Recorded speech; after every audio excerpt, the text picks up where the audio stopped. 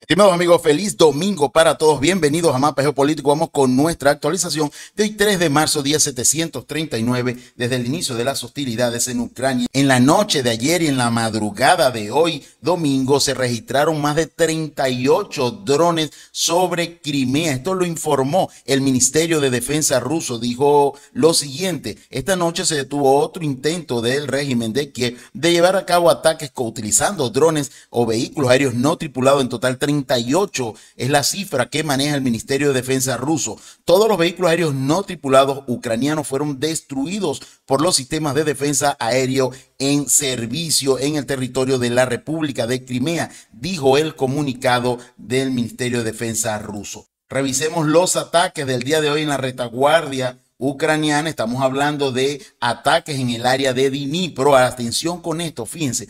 Hoy alrededor de las 3 de la madrugada, los habitantes de Dinópetro escucharon una fuerte explosión en la parte sur de la ciudad. Por la mañana, las autoridades locales confirmaron la llegada del misil, probablemente un Iskander, pero no hubo más aclaraciones sobre este incidente. Luego del análisis detallado de fuentes rusas eh, y que se recibieron de, varias otras informaciones, se detalló, allí están las coordenadas de este ataque, las tenemos exactamente acá, fíjense, en esta zona fue donde cae este misil eh, ruso. Por el momento se estableció que el ataque alcanzó un sistema de guerra electrónica ucraniano que fue desarrollado y mejorado activamente por la parte eh, ucraniana después del inicio del sistema de defensa aérea. Se sabe que no más de ocho de estos sistemas han sido adoptados y utilizados por las Fuerzas Armadas ucranianas en varias ciudades del eh, territorio ucraniano. Estos sistemas de defensa aérea, su traducción exacta es esta, la tenemos acá, fíjense, en este reporte, acá,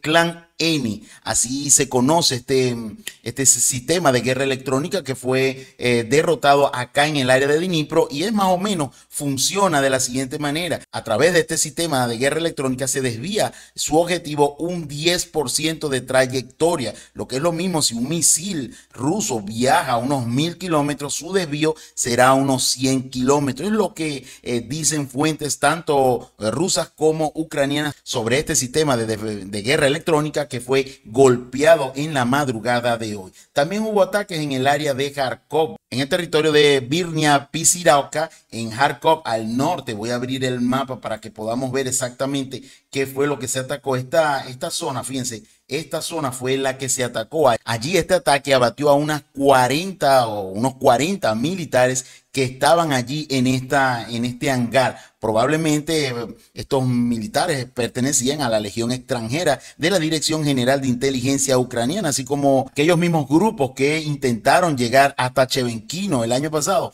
Bueno, aquí probablemente se abatieron unos 40 de estas personas de la, y también de la Legión de Libertad de Rusia.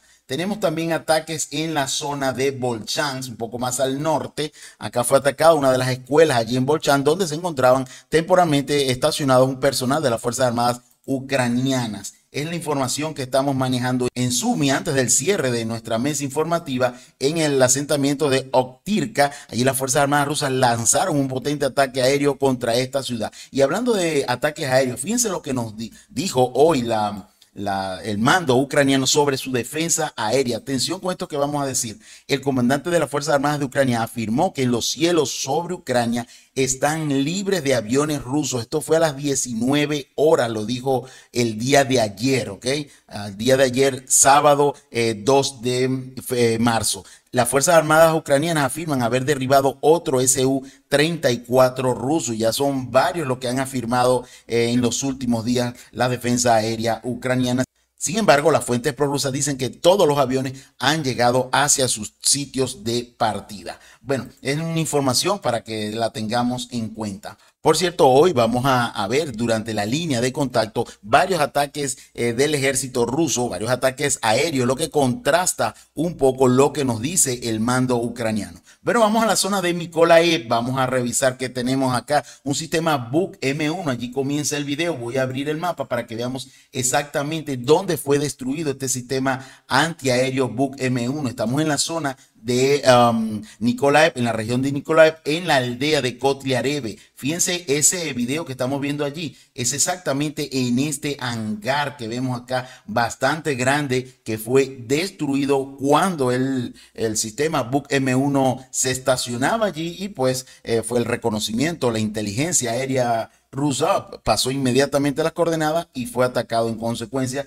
destruyendo eh, tanto su radar como su lanzador Buk M1. Esto sucedió, repito, en la región de um, bueno, en la región de Kherson tenemos ataques en la zona cercana al puente Antonovki, en, Antonovka y en Ivanivka de nuevo, al igual que el día de ayer. No tenemos más información en la zona de uh. Tenemos acá, se nos despliega en el mapa una información sobre Turquía que pide negociaciones. Fíjense el extracto de esta información. Rusia y Ucrania han logrado lo máximo que se podía lograr por medios militares. Por eso Turquía pide negociaciones. Esto lo dijo el ministro de Asuntos Exteriores eh, turco, el señor Hakan Fidan. Nuestra posición es que ambas partes ya han alcanzado los límites de lo que se podría lograr con medios militares. Creemos que ha llegado el momento de entablar un diálogo hacia el alto al fuego, dijo Fidan. Anteriormente, Erdogan, el presidente turco, dijo que estaba dispuesto a ofrecer nuevamente una plataforma para las negociaciones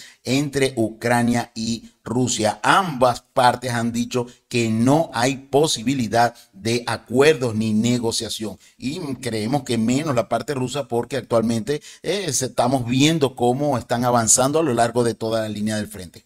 Bueno, seguimos, vámonos hacia la zona de Zaporicie. Vemos que en el área de Rabotino siguen los enfrentamientos, sobre todo posicionales en esta zona. No hay avance reportado de ninguno de los dos bandos. Acá en la zona de mm, Rabotino fue repelido un ataque del grupo de asalto de la Brigada Mecanizada de las Fuerzas Armadas Ucranianas número 108. No hay más detalles aparte de los bombardeos posicionales. Hacia la zona de Malatok Makcha tenemos un video de fuertes bombardeos a posiciones del ejército eh, ucraniano en este cruce de carretera. Fíjense, acá tenemos este cruce y ya van a comenzar los videos. Tenemos dos videos eh, que nos dan dos perspectivas sobre estos ataques acá al sur de Malatokmak. Acá comienzan los videos y podemos ver los ataques aéreos contrarrestamos lo que decía el mando eh, ucraniano sobre que los cielos de Ucrania están completamente libres de aviones rusos. Bueno, acá está una prueba del día de hoy. Ya vamos a ver varias en el transcurso del reporte. Esto sucedió, repito, al sur de Malatok Macha. Ataques aéreos con bomba FAC. Seguimos, veamos qué otra cosa tenemos acá en esta zona de um, Bueno, ya la chatarra y equipos enviados por lo tanto están siendo picados y hay alguien que seguramente va a hacer mucho dinero. Allí están viendo una cantidad bastante grande de equipo militar eh, cedido por lo tanto que están siendo eh, sacados del frente y picados en alguna granja en cualquier parte del territorio ucraniano. Seguramente se cortará y se venderá eh, para la fundición esta chatarra. Seguimos, veamos que tenemos en el área del sur de Donetsk siguen los ataques en el área de Ugledar. Allí se informaba a las 14 y 30 que eh, tripulaciones de equipos pesados TOS 1A estaban trabajando activamente en la zona de Ugledar. También hubo artillería cercano a las minas en el área de Bodiani. Acá tenemos Bodiani muy cerca de Ugledar. Acá tenemos Ugledar y acá tenemos la zona minera de Bodiani. Allí funcionaba la artillería rusa. Donde tenemos, se registran los primeros avances del día, es hacia la zona de Novomihailovka entonces el sur de Donetsk, al sur también de la ciudad de Marinka, pues acá los rusos, eh, como lo decíamos ayer, estaban muy cerca del área central de la aldea de, la zona de Novomihailovka y ya los rusos están en el área de la, de la iglesia de techos azules, ayer lo decíamos en nuestro informe, acá tenemos, fíjense, el área de la iglesia, ¿ok? Y pues acá comienza un video donde las tropas rusas están izando su bandera muy cerca de allí, fíjense, la tropa rusa izaron esa bandera en esta área, acá, en este edificio que está totalmente en ruinas, ¿ok? Y de allí se puede ver, voy a extraer una foto del video al momento que capta parte de esta iglesia de techos azules. Allí podrán ver la foto. Exactamente en este punto, hasta allí avanzaron las tropas rusas en este avance hacia el centro de Novo Mihailovka. Y acá tenemos los mm, edificios de lo que es el centro administrativo de Novo Mihailovka. Esta zona que voy a, a pintarles acá en cuadro azul, este es el centro administrativo, voy a pintarlo más ancho este es el centro administrativo de Novo Mihailovka. De allí se están retirando las tropas ucranianas. Veamos cuánto fue el avance hasta el, hasta el centro de Novo Mihailovka. Allí tenemos un avance de 0.1 kilómetros cuadrados, apenas dos cuadras, y una profundidad desde el sur hasta la zona de mm, la iglesia de unos 200 metros aproximadamente con las últimas actualizaciones. Así pues, las tropas rusas ya están en los edificios allí cercanos a lo que es la iglesia eh, de techos azules en el centro de Novo Mihailovka. Tenemos una información además, fíjense, después de la, estos son fuentes rusas, quiero aclarar, después de la liberación del centro de Novo Mihailovka, esta tarde los combatientes rusos están ampliando activamente la zona de control. A juzgar, y esto repito, son informaciones de fuentes rusas, a juzgar por las interceptaciones de radio, los ucranianos no están seguros de que aguanten al menos por un día más. Exigen permiso al comando para salir. Recordemos que en Abdivka no hubo tiempo para pedir permiso al comando y todo fue un caos en la retirada hacia el oeste de Abdivka. Aquí por lo menos las, eh, las interceptaciones de radio dicen que los ucranianos están pidiendo permiso al comando central. Bueno, es la información que estamos manejando. Repito, los rusos ya están en el centro de Novomihailivka. Lo hemos probado con las, em, la bandera izada cerca del centro en este edificio que tenemos acá exactamente en este edificio. Allí izaron la, en las ruinas de ese edificio la bandera, las tropas rusas y pudimos ver la foto de alguna pared que queda de la iglesia, de esta iglesia de techos azules. La podemos ubicar en cualquier mapa en Google. Seguimos, veamos más al norte. Eh, siguen los combates en el área de Povieda. Allí las formaciones ucranianas han realizado algunos contraataques, pero no han podido ingresar de nuevo a la aldea. Los rusos eh, se atrincheraron en esta zona. Vamos al área de eh, Krasnohorovka. Esto es al norte de Marinka. Allí sigue el bombardeo masivo en toda la zona central de Krasnohorovka. Y tenemos un video que extraímos de algunas fuentes públicas eh, ucranianas, los ucranianos no le están pasando bien en Krasnohorivka, dice allí ese militar ucraniano, mientras Rusia sigue presionando y las líneas defensivas de Ucrania son inestables, lo está diciendo el propio militar ucraniano en la ciudad de Krasnohorovka. Bueno, seguimos, no hay avances reportados en esta zona de Krasnohorovka. Vámonos a Avdivka, en la zona mm, oeste de Avdivka. Allí siguen eh, llegándonos información sobre combates y bombardeos en la zona de Tonin, que veamos qué nos dicen estos reportes. Ahí, bueno, hay básicamente eh, información de ataques del ejército ucraniano en esta zona, pero no hay avances reportados. Tenemos un video, fíjense, los ucranianos intentaron llegar de nuevo a la zona de los lagos. Acá tenemos esta zona de los lagos y pues en este punto fueron atacados con sistemas de lanzamiento múltiples GRAP por parte de la artillería rusa. Allí vemos el momento donde eh, llegaban estos misiles en toda esta zona de los lagos. Allí pues lograron repeler a través de estos ataques con misiles eh, GRAP el asalto ucraniano.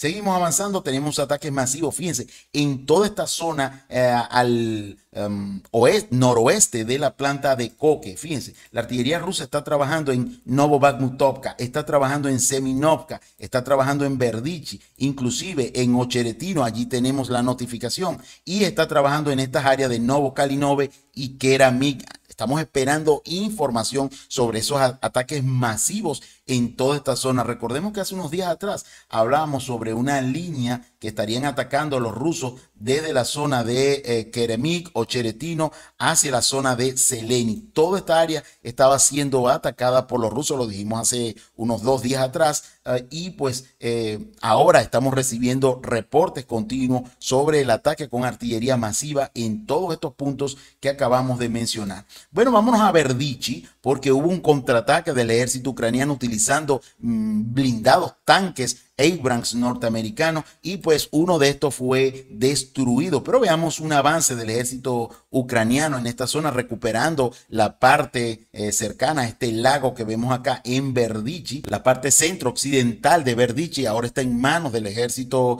eh, ucraniano y la parte centro um, oriental está en manos del ejército ruso. Dice el reporte lo siguiente, las Fuerzas Armadas de Ucrania llevaron a cabo un contraataque en Verdichi durante el cual perdieron un vehículo de remoción de minas basado en el chasis del tanque Abrams y un tanque Abrams. La parte occidental de Verdichi está detrás de las Fuerzas Armadas de Ucrania y la parte oriental, como les dijimos, está en manos del ejército ruso. Seguimos, veamos qué tenemos en esta zona. Tenemos los videos eh, de la destrucción del segundo tanque Abrams en Verdiche y el blindado de ingeniería basado en el tanque Abrams. Hoy en la zona del pueblo, mientras vemos los videos y la foto, la foto corresponde al tanque Abrams destruido y el video que ahora comienza corresponde al blindado de ingeniería o de desminado basado en el tanque Abrams. Bueno, no lejos de Abdica se produjo una brutal paliza a vehículos blindados estadounidenses. Se quemaron un tanque Abrams, allí ven la foto, y un vehículo de ingeniería M1150 basado en él.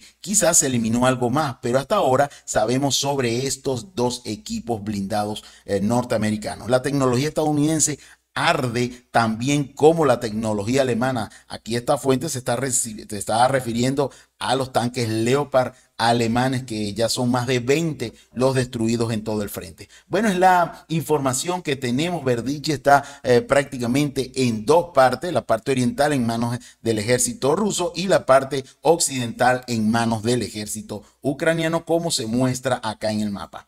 Dos tanques Abrams han sido destruidos allí en la zona de Verdichi. Vámonos al área de Pokros porque tenemos también información de un ataque masivo en el área de Mirnojar. Mirnojar está al lado prácticamente de Pokros. Bueno, allí tenemos la información siguiente. Fíjense, en el territorio ocupado por la en la RPD por parte de la, la, milicia ucraniana se llevó a cabo un ataque masivo contra la policía de tráfico aérea ucraniana en Mirnograd. Dimitrov en ruso ubicada en las instituciones educativas de la ciudad. Normalmente las, tropas ucranianas utilizan estas instituciones, dispensarios de salud, etcétera, para desplegar sus tropas allí. Dos impactos de misiles balísticos alcanzaron el territorio del Liceo Armonía, antigua escuela número 17, en, Mirnojar, en Donetsk y pues donde se encontraban alrededor de 100 efectivos. Al menos la mitad de ellos fueron eliminados, incluidos dos oficiales de la dirección del batallón. La escuela número 5, esta que tenemos acá,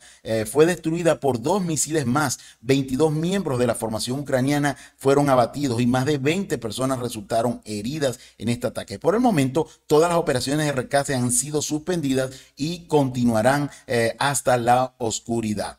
Bueno, es la información que estamos manejando en esta zona de Mirnojar, en Donetsk, pero además en, el área de Pokros, fíjense, tenemos una información eh, como resultado del lanzamiento de un misil de un caza ucraniano, se dañaron edificios residenciales en el microdistrito de Yuzhny, en esta zona al sur de Pokros, acá donde están una serie de edificios, acá varios civiles resultaron levemente heridos. Es la información que estamos manejando. Un misil lanzado por un avión eh, de caza ucraniano lamentablemente cae en zona civil. Seguimos, vámonos a la zona de New York, cerca de Horlovka. Allí las tropas ucranianas intentaron dos eh, ataques. Allí los grupos de asalto de la brigada número 24 de las Fuerzas Armadas Ucranianas en la zona del asentamiento de New York fueron rechazados por las tropas rusas. En el área de Bakhmut, allí después de los avances del día de ayer, sigue el bombardeo masivo. En el área de Ivanis, que no se reportan nuevos avances en esta zona, pero eh, nos siguen hablando de acciones ofensivas del ejército ruso en esta zona. No hay reportes de avance allí. Fíjense en el área de Klishivka, Andrivka y más abajo, en el sur, en el área de Kurdimovka, también siguen los combates de ambos bandos en esta zona. Tampoco hay avances de ninguno de los dos bandos, al igual que en Bogdanovka.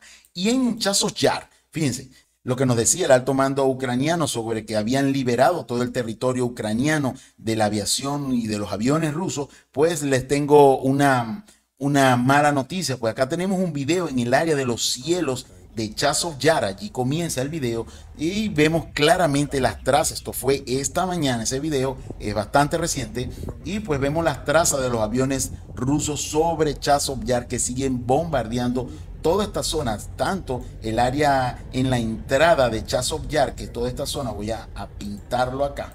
Fíjense, toda esta área sigue siendo bombardeada y toda esta zona sigue siendo bombardeada por los aviones de combate rusos. Allí pues es una prueba más de que los aviones eh, rusos siguen estando presentes masivamente en todo el territorio ucraniano, por lo menos en la zona este en conflicto.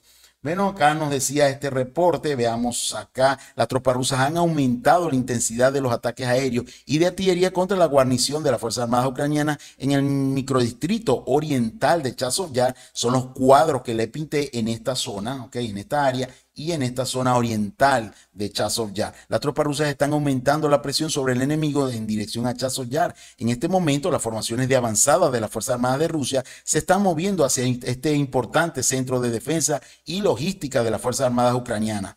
Hay información de que las fuerzas aeroespaciales rusas y la artillería están atacando posiciones, bastiones y puestos de tiro del enemigo dentro de la ciudad. Es la información que estamos manejando sobre los ataques tanto de artillería como aéreos en ya Vamos a avanzar un poco más al norte en el área de Berestove. Veamos esta información. Bueno, allí está una información del 29 de febrero, pero allí siguen los combates en la zona norte de Berestov. Allí las tropas ucranianas, como lo, decíamos en esta oportunidad del día 29 de febrero, eh, habían avanzado en esta zona, pues los rusos han eh, llevado reservas a esta zona y han logrado detener hasta hoy las formaciones o los asaltos de las formaciones ucranianas. En el área de Terni tenemos allí que las tropas rusas lograron eh, contraatacar y avanzar en dos pinzas de avance hacia la zona de eh, Terni y Yampolok, que estas fueron las dos zonas de avance del ejército ruso. En esta área, fuentes como Deep State también mencionan este avance en nuestras coordenadas. Fíjense. Las tropas rusas avanzaron en dos direcciones hacia Yampolovka a través de las zonas boscosas. Allí tenemos un avance de un kilómetro cuadrado, ¿ok? Un kilómetro cuadrado hacia la dirección de Yampolovka y Terni. Seguimos, dejamos esta zona de Krasnilimán, vámonos un poco más al norte, en el área del frente de Kupián. Allí siguen los bombardeos del ejército ruso. Fíjense, en el área de Tabaivka y Krokmalne tenemos ataques de la artillería rusa en el área de Pichane y en el área de Berestove. Hay una preparación bastante fuerte de la artillería rusa, lo que podría conllevar en las próximas horas de un despliegue de em, tropas rusas de asalto hacia estos dos em, asentamientos como lo son Pichane y Berestove. En el área de Sinkovka, más al norte, siguen los combates como todos los días en esta zona eh, al norte de Kupiansk. Vamos a revisar hoy, creo que sí tenemos la mm, em, traducción hoy del resumen de lo que dijo el Ministerio de Defensa ruso para hoy 3 de marzo. Hablaba de 1025 militares ucranianos abatidos, heridos. También le dejamos, como siempre, la información del mando ucraniano que nos habla de 1065 militares rusos abatidos o heridos. Tenemos las dos versiones oficiales de las bajas al día de ambos bandos. Bueno, también nos dice el Ministerio de Defensa ruso que 12 vehículos blindados, incluidos tres tanques en la dirección de Abdivka, ok, hablamos de dos, uno Abrams y otro vehículo de desminado basado en el chasis del Abrams, 17 sistemas de artillería y MLRS, 41 vehículos especiales han sido también destruidos, 143 vehículos aéreos no tripulados, incluido el Bayraktar TB2 de origen turco, y una estación de guerra electrónica en Club N que fue golpeada en el área de Dnipro. Acá tenemos la foto de esta estación electrónica en Club N. Eh, no había colocado, no se las había colocado, pues acá la tenemos. Un almacén de municiones de aviación fue alcanzado en Donetsk, así como en la dirección de Donetsk fue destruido un depósito de municiones de campaña de las Fuerzas Armadas de Ucrania. Los sistemas de defensa aéreo derribaron dos misiles del sistema de lanzamiento múltiple HIMARS en las últimas horas. Bueno, básicamente esta es la información más importante. 38 drones fueron derribados en la noche de ayer sábado para amanecer hoy domingo 3 eh, de marzo. Tenemos un importante avance en la zona central de Novo Mihailovka, ¿ok? En la zona central y en la eh, zona de la iglesia, allí están los rusos ya asaltando posiciones. La, las las interceptaciones de radio indican que las formaciones ucranianas la están pasando bastante mal, al, igual que en el área de eh, Krasnohorovka. Bueno, en el área de Verdichi, en la zona del oeste de Avdivka, este asentamiento está dividido eh, prácticamente en dos. O sea, hay un acuerdo 50 y 50 en esta zona de Verdichi y hay un bombardeo masivo en toda la zona norte, eh, Keramik, Ocheretino, Novobakmutovka, eh, Seminovka, todas estas zonas están siendo bombardeadas por las Fuerzas ah, Armadas rusas. Bueno, gracias a todos por su atención. Feliz domingo para todos. Gracias por esas más de 16 mil visitas en nuestro último video y en el video de ayer en la mañana, más de 12 mil 500 visitas. De verdad, les estoy muy agradecido por sus comentarios, por su like. Recuerda, si no estás suscrito a nuestro canal, es un buen momento de hacerlo. Allí con ese botón de suscribir en el menú de YouTube, nos estarías ayudando mucho activando la campanita. Te llegarán estos, eh, este contenido de forma inmediata a tu dispositivo. Recuerda que tenemos nuestro canal de Telegram. Allá hay información variada 24 horas al día. Bueno, feliz domingo para todos. Pásela bien en familia. Nos vemos mañana lunes, donde a través de las notificaciones en nuestro mapa estaremos haciéndole seguimiento a todo lo que pase en el frente ucraniano.